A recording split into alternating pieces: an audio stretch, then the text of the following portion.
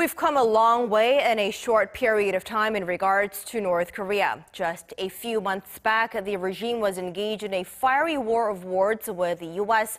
and regularly testing out its missile and nuclear capabilities.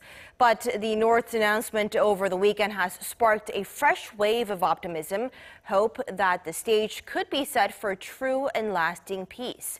But has North Korea really come so far in terms of weapons development just to fold at the last minute? Our Won Jung-hwan takes a look back at what drove the North to nukes in the first place.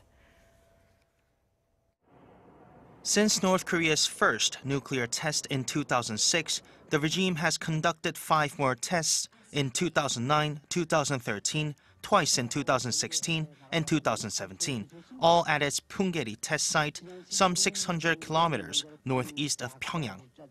The latest and the most successful was the sixth test in September last year, producing a blast some 10 times more powerful than the regime's previous detonations. But why has North Korea been pursuing a nuclear weapons program for the past few decades?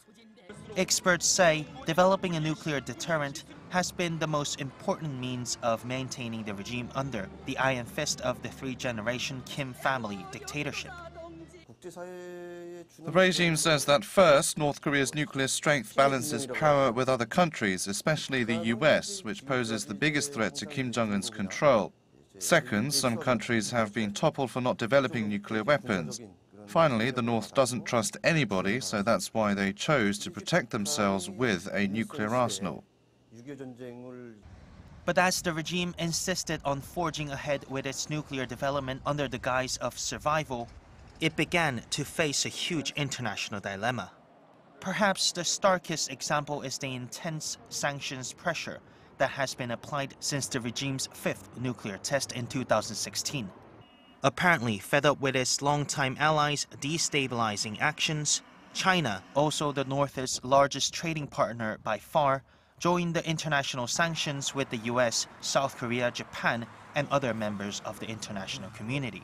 So possessing nuclear weapons has prolonged the regime's survival, but in the process has made North Korea a pariah state. So where does this leave Pyongyang? According to a retired South Korean general, the North has reached the point where it has to choose a path. When we look at past attempts, it's clear the old carrot and stick approach against North Korea's nuclear program has been a failure. However, the recent uptick in sanctions and other pressure has made the regime realize that by continuing the development of its nuclear capability, the regime's grip on power will remain dangerously unstable. Ahead of its summit with South Korea on Friday, Pyongyang has been expressing its willingness to denuclearize the Korean peninsula.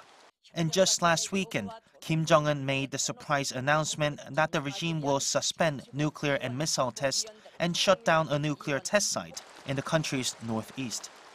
With wind in the sails, Friday's summit could prove the giant step needed to solve North Korea's long-time nuclear dilemma.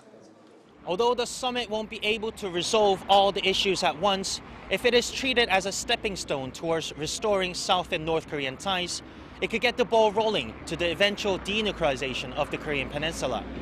Won Jung-hwan, Arirang News.